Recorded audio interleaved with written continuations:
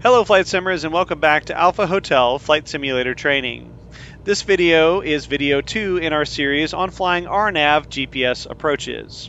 In this video, we'll demonstrate how to fly an LPV RNAV GPS approach using the Garmin G1000 equipped Cessna 172. In video 1 of this series, we covered the basics of RNAV GPS approaches. We discussed what they are, how they're designed, and talked about the different types of RNAV GPS approaches that are available. If you haven't watched that video, I'd recommend doing so before watching this one, and I'll leave a link to that video in this video's description.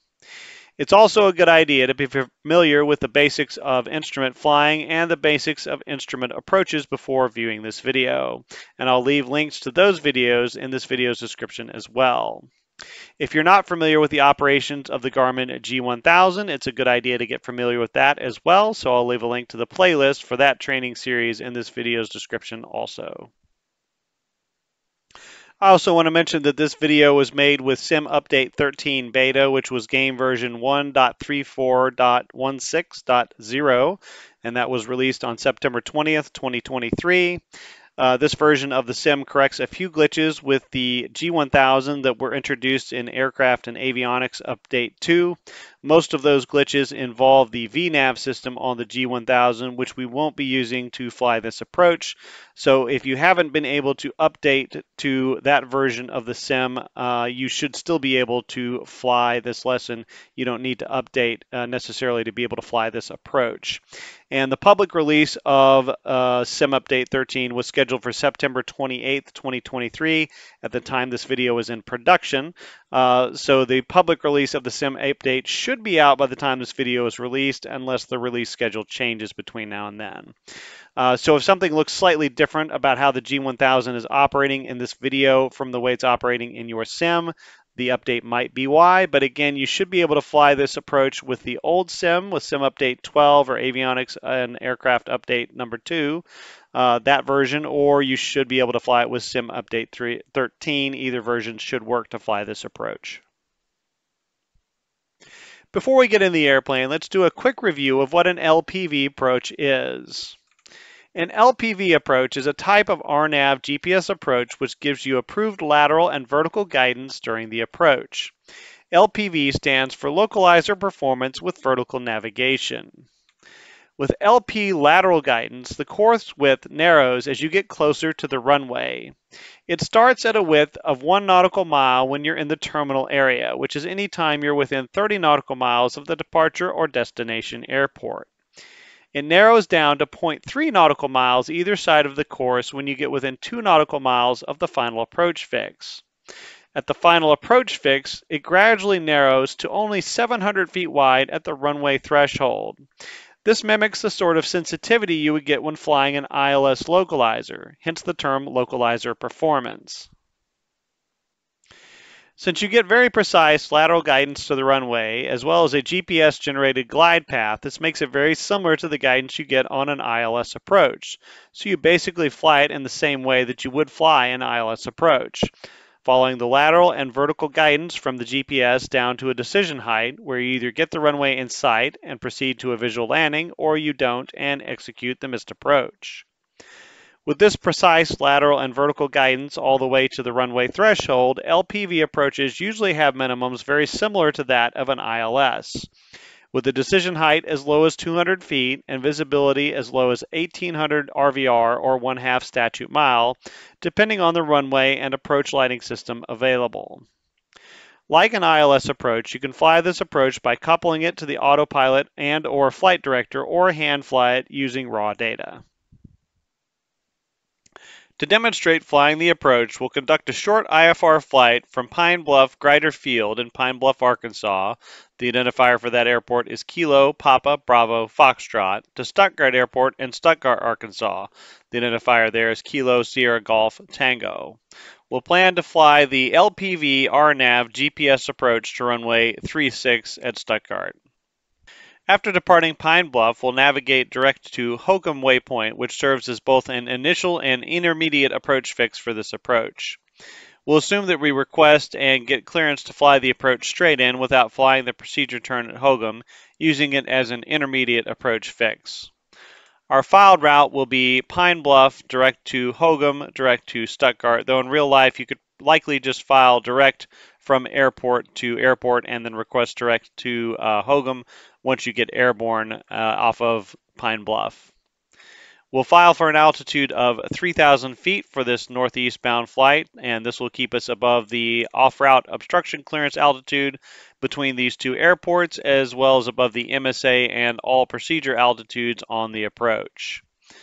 The flight is just over 31 track miles, which should take us about uh, 15 minutes to fly in the Cessna 172. We'll plan to depart runway 36 at Pine Bluff. We've checked the takeoff and departure procedures for Pine Bluff. There are takeoff obstacle notes, but there are no special departure procedures and no takeoff minimums. So we know that we'll be safe using the standard diverse departure procedure of flying runway heading to 400 feet AGL before we make a turn on course. We'll assume that the weather at Pine Bluff Airport is good enough that we can get back in and that we feel comfortable departing. The weather at Stuttgart is reported as calm winds, one mile visibility, ceiling of 300 overcast, temperature and dew point of 15 degrees C, and an altimeter of 2992. We'll assume that we filed an alternate for the flight and that it is a legal alternate. We'll also say that there is a NOTAM for the approach lights to runway 36 being out of service since they appear to be missing in Microsoft Flight Simulator. All right, so let's take an in-depth look at the uh, approach and the approach plate uh, to make sure that we are familiar with all the information that we need to know to fly this approach. Over the top right-hand corner, it gives the title of the procedure. It is the RNAV GPS to runway 36, and it is for Stuttgart Municipal Carl Humphrey Field in Stuttgart, Arkansas. It's got the identifier, the FAA identifier there of SGT. And the top left, it tells us that this is in Stuttgart, Arkansas, is where the uh, airfield is located. Uh, top left of the briefing strip here, it gives us some WAAS channel information. I think they just stick this on here because on like a ILS approach or something with a ground-based nav this is where you put the frequency uh, for that uh, type of approach, so they felt like they needed to put something in here. There's not really anything that we can do with this as a pilot. It's not like we can change the WAAS channel. Uh, so it's just there for informational purposes only. There's not really much we can do with that. It does give us the inbound approach course. It is 360, and we can see that is uh, duplicated on the plan view down here. Then it gives us some uh, runway information for runway 36, tells us the runway landing length is 6,015 feet. Uh, tells us that the touchdown zone elevation for runway 36 is 224 feet MSL, and that the airport elevation is also 224 feet MSL. Underneath that, we have a little remark that says RNP approach, which just tells us that this is uh, an approach that has a certain navigation standard. Uh, until we get to the final approach fix, we need to have an accuracy of 0.3 nautical miles, uh, or actually as we get to the final approach fix, and then of course with the LPV approach, it's going to narrow down from there. Uh, under that, we have the little T that tells us uh, that this has something unusual about the departure. This means that it has uh, obstacle departure notes or it has non-standard takeoff minimums, or it has an obstacle departure procedure. None of that is really applicable to, to, us as an arrival, but just something we need to be aware of when we depart back out of here. And then the A means that it has a uh, non-standard uh, minimums for filing this airport as an alternate. Uh, so if we're going to file this airport an alternate, we want to take a look at that and see uh, what changed there. Then we have the notes section. Most of this does not apply to us. It says when using uh, local altimeter setting or when the local altimeter setting is not received and has some notes about what you need to do to the minimums. If that is the case, we are going to get the local altimeter setting, so that is not an issue. It says for an inoperative approach lighting system when using uh, Little Rock Airport altimeter settings, we have to do some adjustments to the minimums. Uh, but even though we have the inoperative uh, approach lighting system here, uh, we don't have to do this because we're not using the Little Rock altimeter setting, so that is not applicable here. Uh, we have the type of approach lighting system that it has. This is a medium intensity approach lighting system with sequence flashing lights, so it's got the rabbits and the white T, but again, it's missing in Flight Simulator, so we're going to have to do some adjustments to our minimums uh, for that approach lighting system being not present or inoperative uh, in Flight Simulator. It's got our missed approach instructions down here. It tells us in the event of a missed approach, uh, we're going to climb straight ahead to 2000, go direct to Zedek, and then hold. And you can see that's what's depicted on the plan view here. It's got the holding pattern at Zedek. And then we also have the, in the uh, uh, profile view, we've also got the same directions here, straight ahead to 2000 and go to Zedek. Underneath that, it does have the frequencies that we're going to use and the order that we're going to use them. It does have automated weather uh, so that we can tune in and listen to the weather. Then we would be talking to Little Rock Approach when we are on uh, the approach. It has the clearance delivery frequency for once we get on the ground, and the UNICOM that we'll talk to to make, uh, and the common traffic advisory frequency that we would use to make uh, our traffic calls once we are handed off from approach uh, to the common traffic advisory frequency. So looking at the plan view of the chart, up in the top right corner, we do have an a, a uh, MSA or a minimum safe altitude listed on the approach.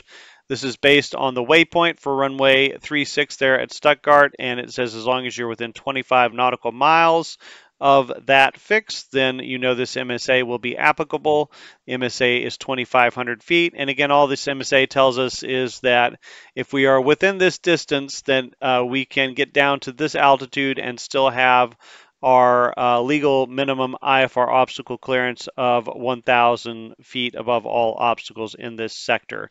Again, this is not a procedure altitude, meaning that we can't descend down to this altitude, say once we're within 25 nautical miles of runway 36 in the real world. We do need clearance from ATC to descend down to that altitude unlike a terminal arrival area, which you see on a lot of uh, GPS approaches nowadays, where you could actually descend down uh, to that altitude. That's actually a procedure altitude.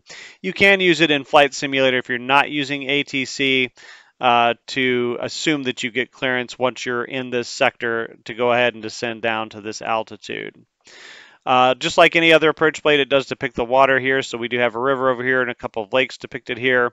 We do have the tallest obstacle over here, 1,424 uh, feet MSL. So that's where that's located and the height that it's located at. And uh, then we have a couple of different other obstacles uh, that are closer to the airport. So it's got those depicted and has those uh, marked as to high, how high those are. So looking at the procedure itself, we do have a feeder route coming in from Pine Bluff VOR. We are not going to utilize that. We'll navigate direct to uh, Hogum instead and use that as an intermediate affix. Uh, but if you were to take the route from Pine Bluff VOR, all you do is load it up in the GPS.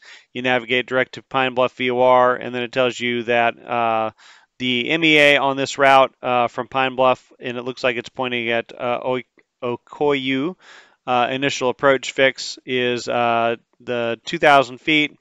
It's a 049 course and it's 15.2 nautical miles long. And if you flew that, you'd fly from there into Okoyu, uh, and then you would go uh, from Okoyu to Hogum, and then on in on in on the approach there. It does tell you uh, that Okoyu is an initial approach fix, and that it has a 2,000 foot uh, procedure altitude, so you could descend if you're cleared for the approach down to 2,000 feet. Uh, once you hit Okoyu, and you do not have to do the procedure turn. It does say no PT on a 090 course, and the length of that segment is five miles long. We do have two of these initial approach fix. You can use Okoyu if you're coming in from the northwest. You can use Kyle if you're coming in from the northeast. And uh, you would just hit the fix and then proceed in on the course. Again, it says no PT on these two uh, outboard initial approach fixes. Uh, and gives you a procedure altitude, and then you go from the initial approach fix to Hogum, and then in on the approach from there. We will be using uh, Hogum. We'll be navigating direct to Hogum. We will use it as an intermediate fix. You can see it's labeled IF slash IAF, which means it's both an intermediate fix and an initial approach fix. Uh, if we navigated to it as the initial approach fix, we would need to do this holding pattern in lieu of the procedure turn.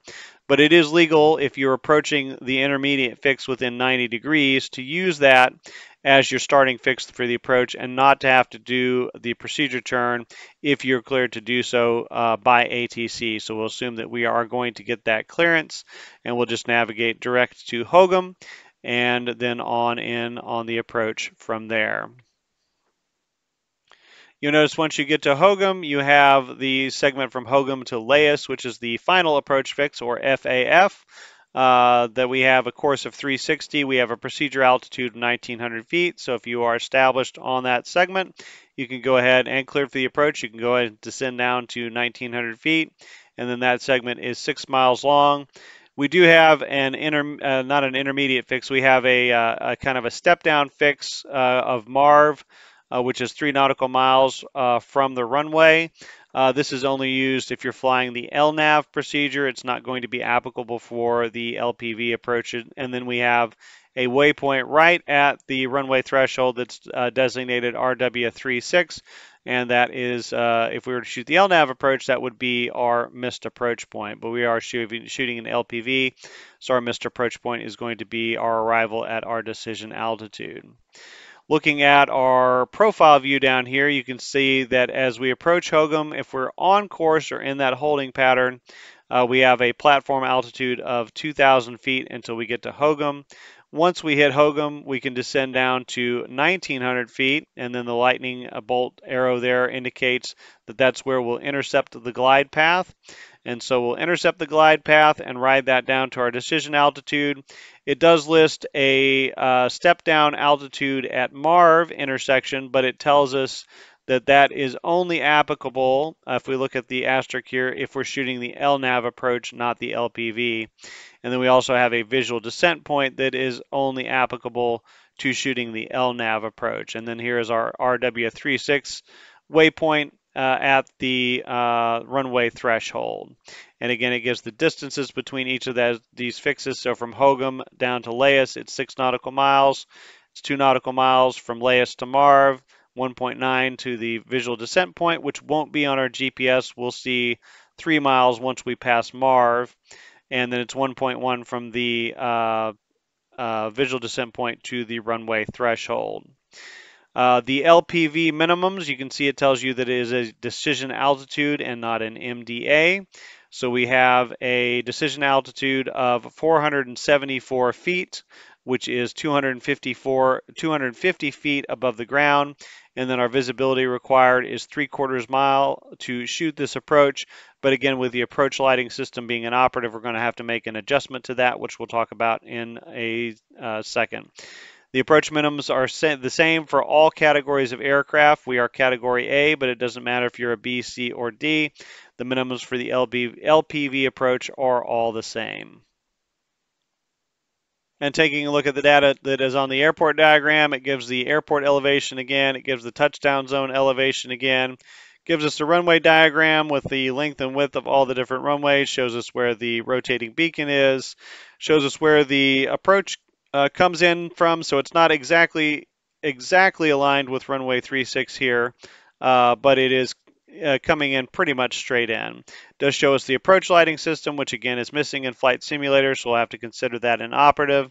And then it tells us that the uh, medium intensity runway lighting on 1836 and 927 is pilot controlled in the real world, as are the runway end identifier lights, which is two strobes on either side of the runway uh, for both runway 18 and uh, 27. Those are also pilot controlled.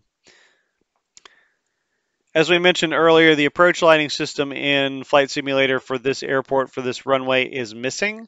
Uh, it is uh, not being depicted, so we will consider it inoperative. And anytime you have an inoperative approach lighting system, you want to go to this inoperative components table uh, that tells you how to adjust your minimums. And this is located in the front of uh, every terminal procedures publication uh, that is published by the FAA. Uh, so you can find it on the FAA website, but you can also Google it.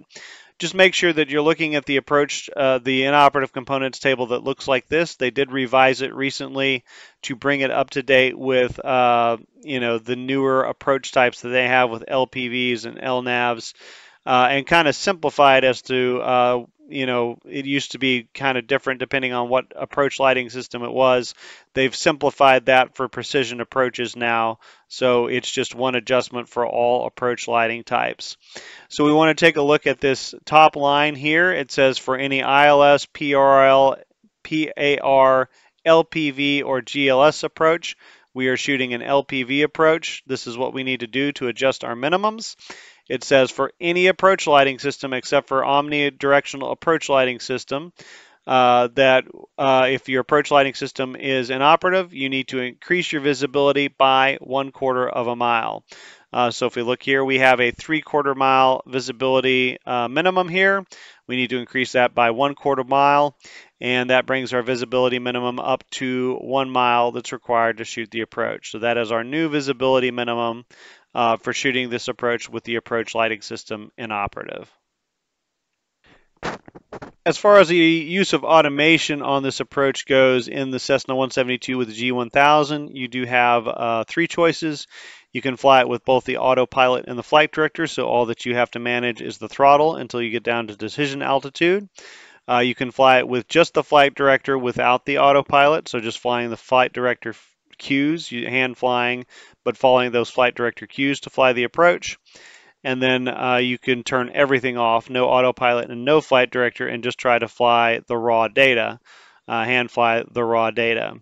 Uh, if you are not experienced in flying uh, approaches with vertical guidance or precision approaches, uh, I do recommend starting with the autopilot and the flight director, uh, just to, so all that you have to do is manage your throttle and see what kind of pitch and roll corrections are needed uh, in order to fly the approach and then try to step in and kick the autopilot off and fly it with just the flight director guidance. And then once you get proficient at that, move over to flying uh, with you know no autopilot and no flight director if you want to do that. I personally don't have a problem with uh, folks if they want to use uh, the autopilot on this type of approach, uh, it's probably what a lot of pilots are, with advanced avionic systems are going to do in real life.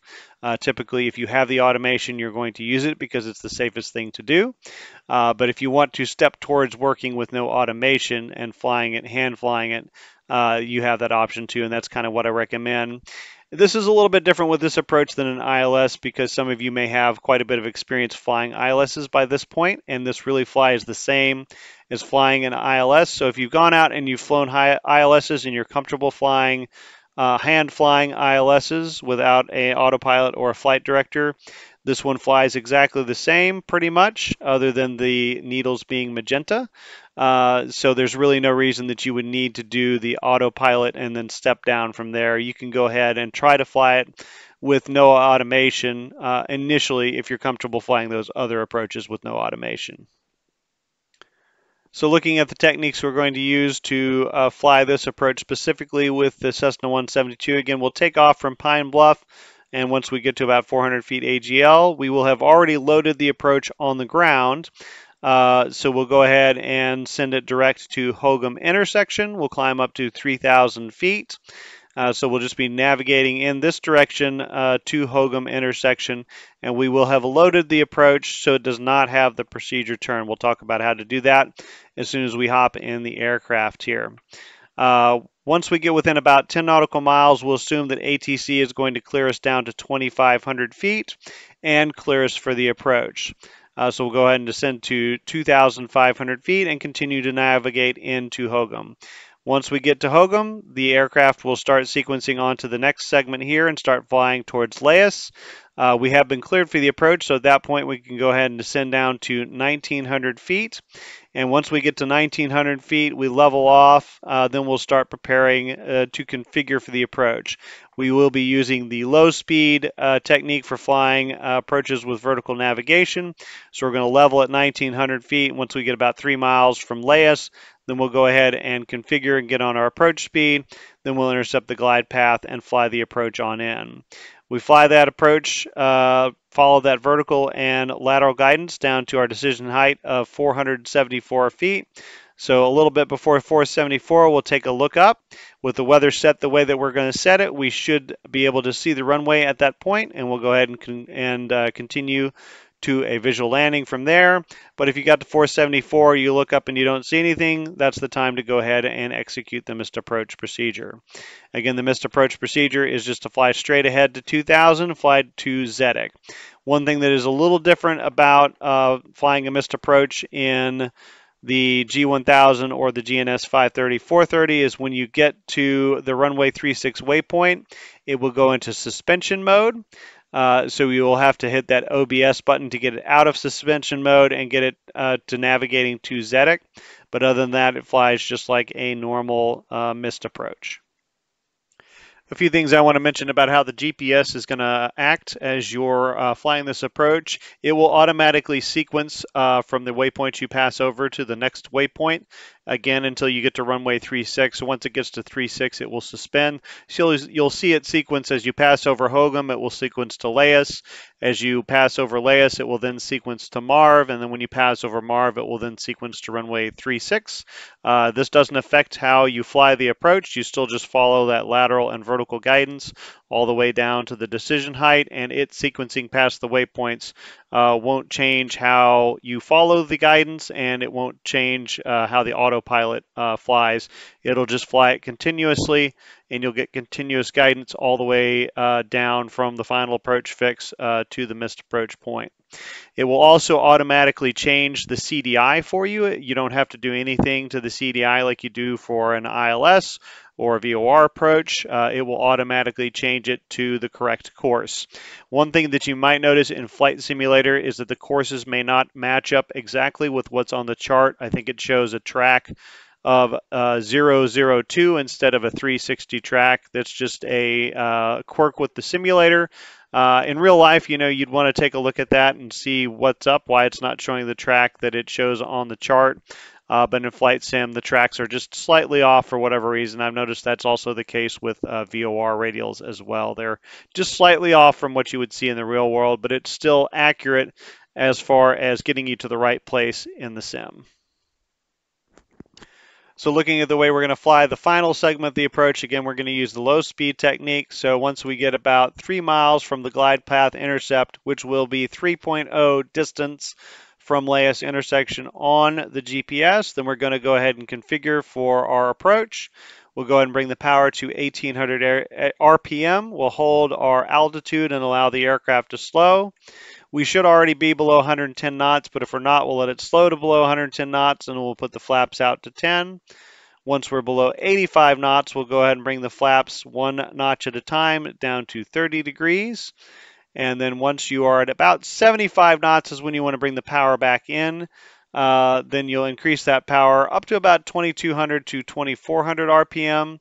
Uh, and if you do it at 75 knots, once you get to 2400 RPM, that should get you stabilized in level flight at 70 knots. And we use 70 knots as the approach speed. So you want to lead that application of power just a little bit, about 5 knots.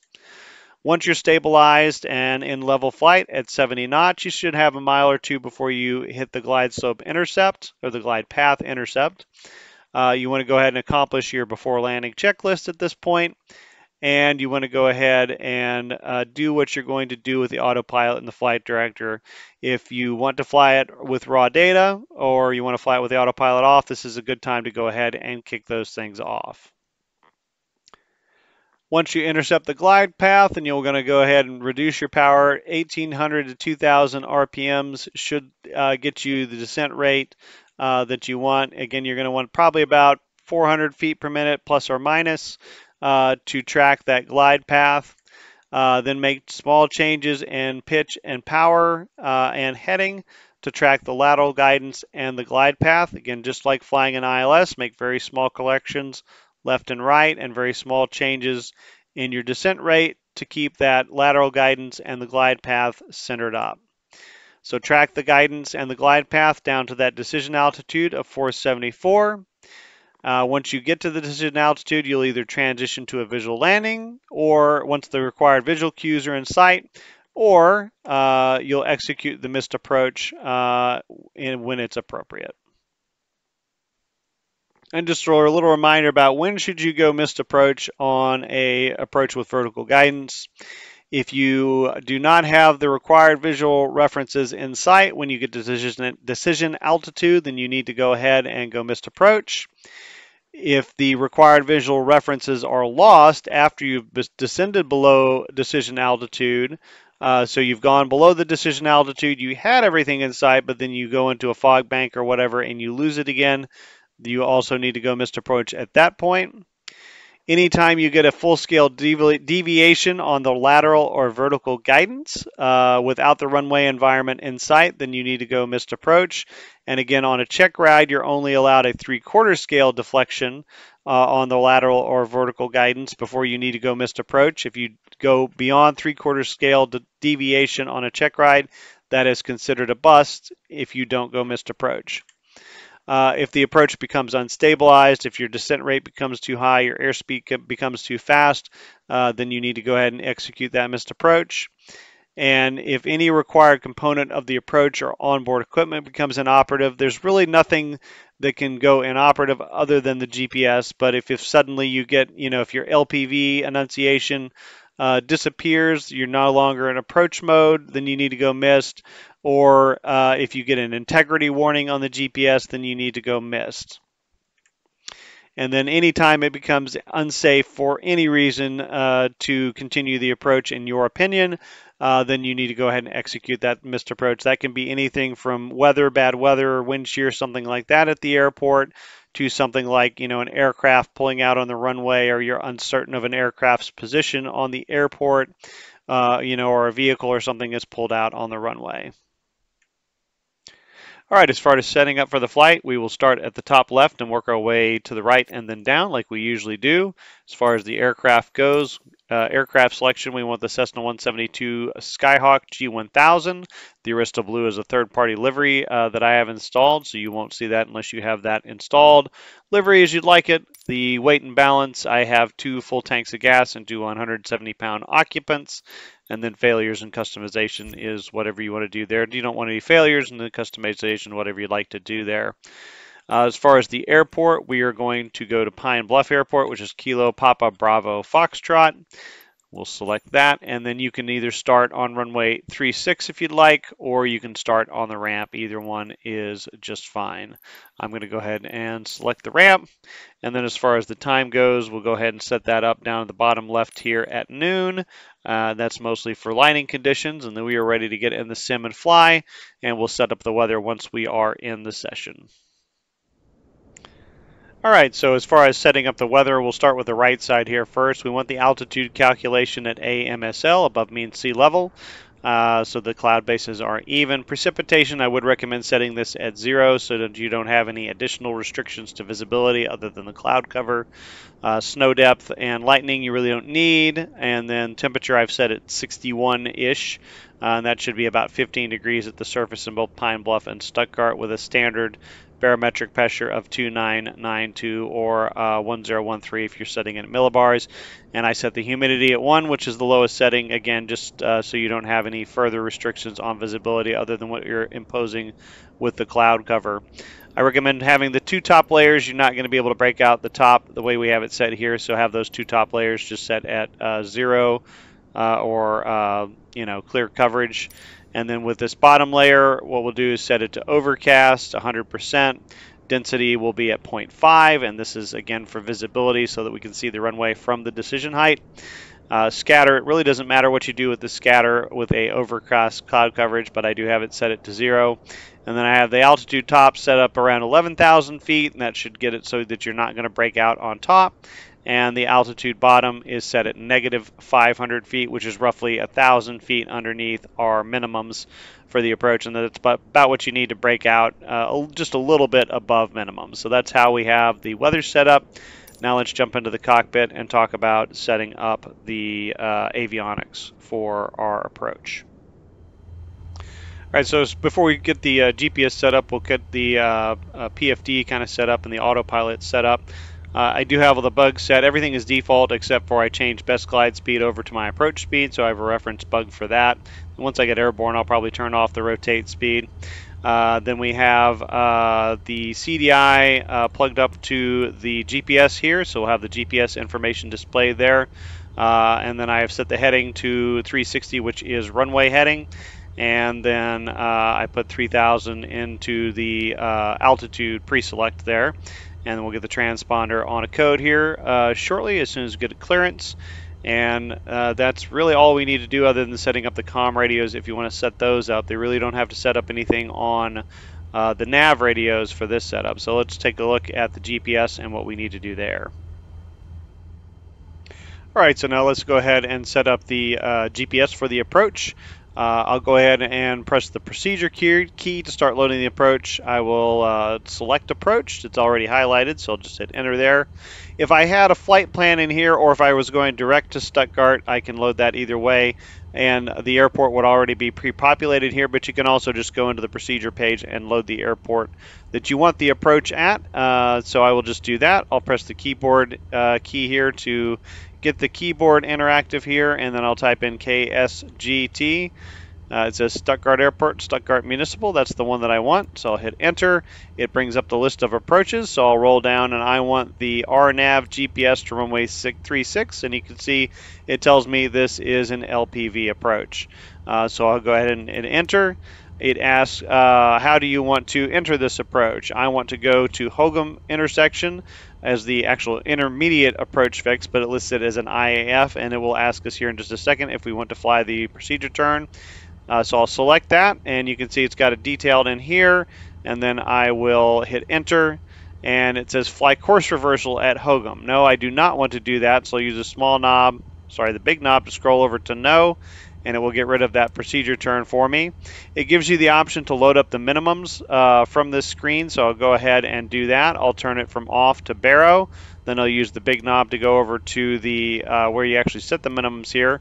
And we'll scroll up. The minimums for this approach are 274. Let me make sure that is correct.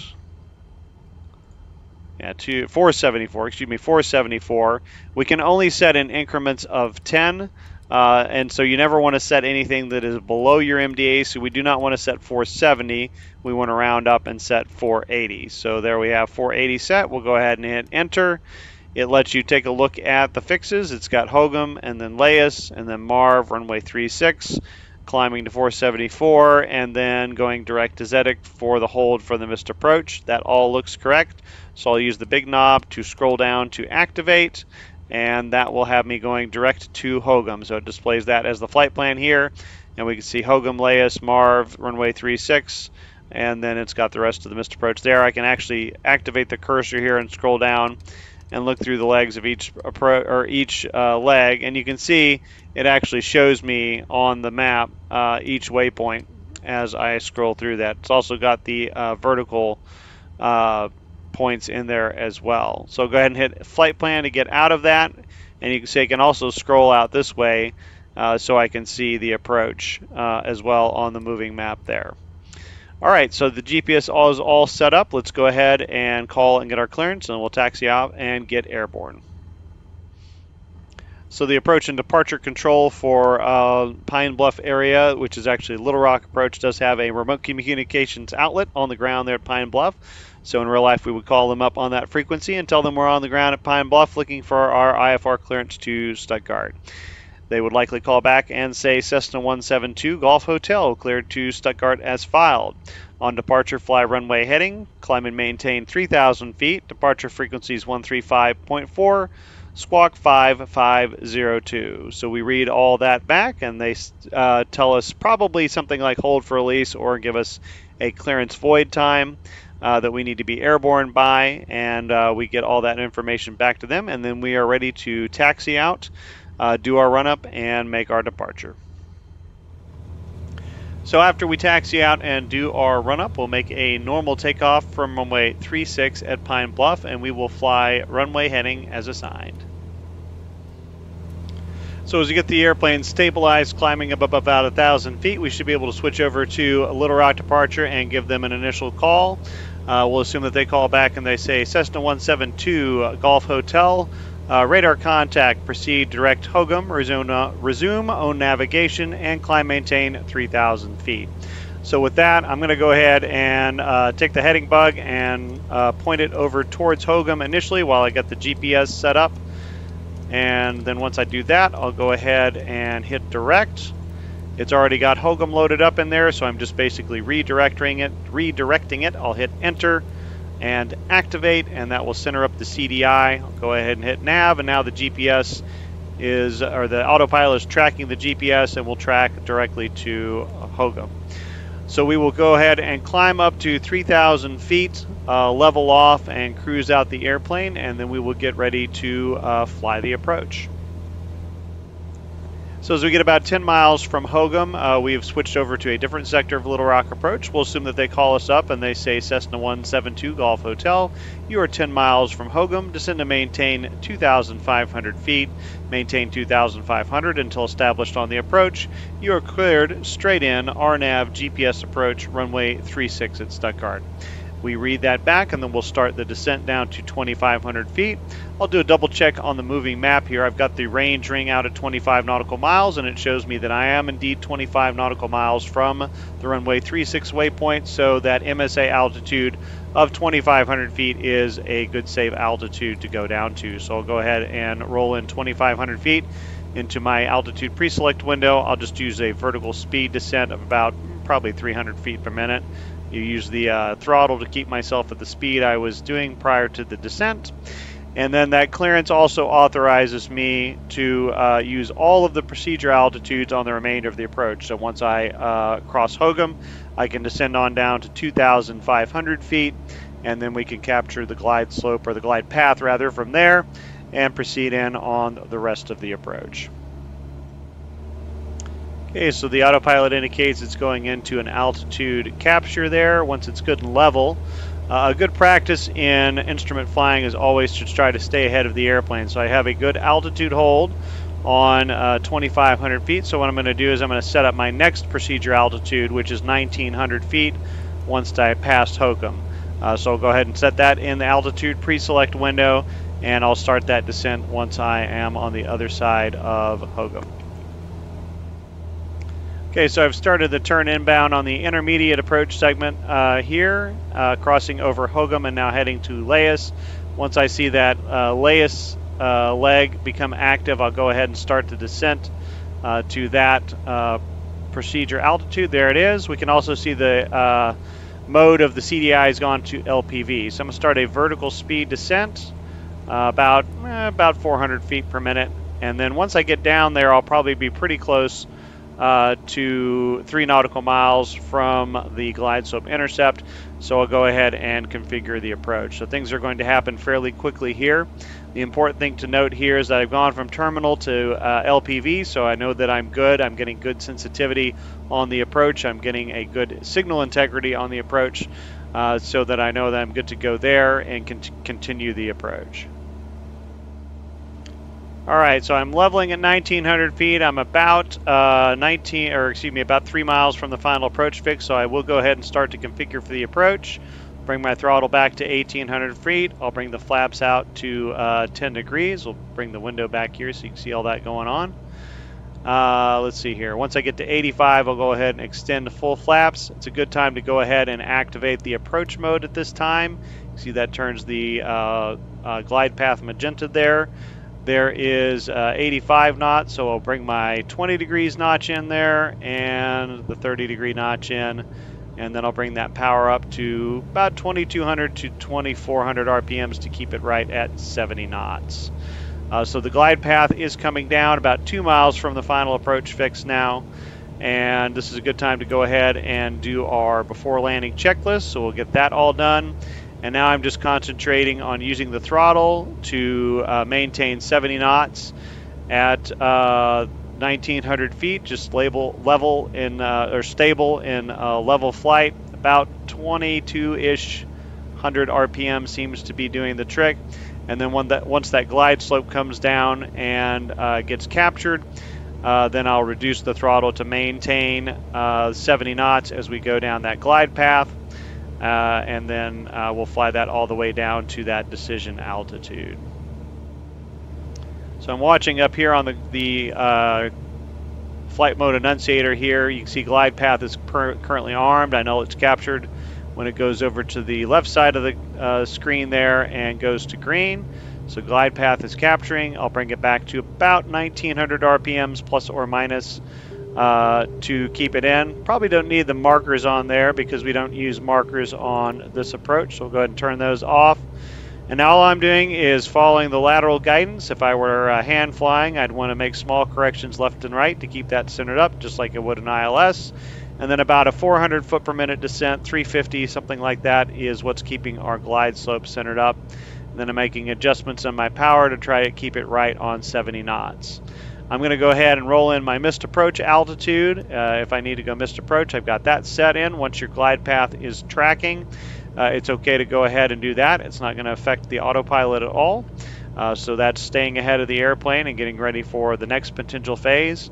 And now we're just keeping ourselves on the glide path and on the lateral guidance from the GPS uh, down to our decision altitude of 474 uh, where we'll take a look up and make a decision if we're going to go missed or if we can make it to a visual landing.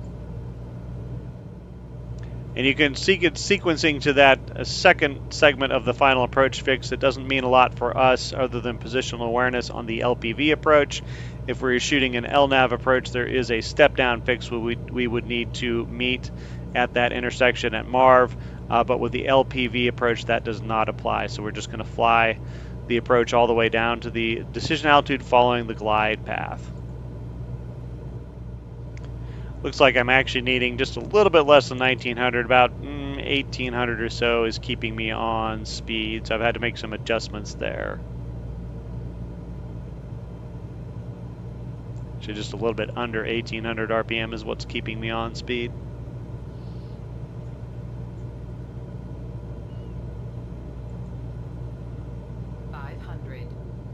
That's 500 feet above the ground. I'll take a look at it about 500 feet or about 570 AG or uh, MSL, uh, about 100 feet above my decision height, and I'll take a look and see if we have a visual or not. So there's 600, there's 580, there's about 570. We'll take a look up, and there's our runway end identifier lights. I'll get the autopilot off before we get down to the decision altitude, and we'll just go ahead and transition to a visual landing. So that is how you shoot a uh, LPV approach using the G1000. So to try to judge when you are proficient at these approach, I would use the uh, Airman certification standards for uh, precision approaches with this approach, with these types of approaches, even though it is technically a non-precision approach. The terms that they use for the non-precision approaches in the Airman certification standards really don't apply to this type of approach because they talk about MDAs and this approach doesn't have an MDA. It has a uh, decision altitude instead. Uh, so I imagine in the real world, uh, more examiners are probably leaning towards using this to judge if you're proficient at the approach than the non-precision language. Uh, this can be found in the airman certifications uh, for the instrument airplane rating. Uh, this is Area of Operations 6, Instrument Approaches, Task B, Precision Approaches.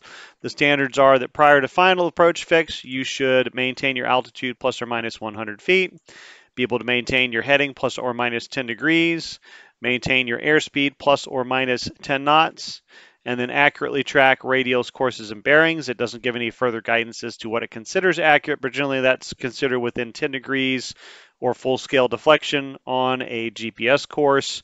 Uh, and then we're not using an NDB, but generally it's within 10 degrees on an NDB bearing as well. Uh, for the final approach fix down to the decision altitude, the standards there are that you maintain a stabilized approach. They're looking for uh, being on your approach airspeed, no excessive airspeed, and no excessive descent rate. And then allow no more than three quarter scale deflection of the lateral or vertical course guidance. Uh, if you get to three quarter scale and you go missed, uh, rather than trying to uh, continue the approach and accidentally going beyond three quarter scale, then that is still considered, uh, it's not considered a bust at that point. Uh, they will generally allow you to go back and try the approach again. Uh, so that's the standard there. Uh, if you're actually out there flying the approach, though, technically you're allowed full scale before you should execute the missed approach. Uh, although I would probably I would probably tend to execute the missed approach before it gets to that point. Uh, you should be able to maintain your approach airspeed plus or minus 10 knots and then immediately miss the approach at decision altitude if you do not have anything in sight or transition to a visual landing using a normal rate of descent and normal maneuvering. That concludes this video. Hopefully it's given you the knowledge and skills you need to confidently fly LPV type RNAV GPS approaches using the G1000 on your own. As always, if you've enjoyed the content, please don't forget to like the video, subscribe to the channel, ring the notification bell to be alerted to new content, and share the video with your friends. Be sure to tune in for, to the next video in this series where we talk about how to fly this type of approach using the Garmin GNS 530 and 430. Thanks for watching, and we'll see you next time.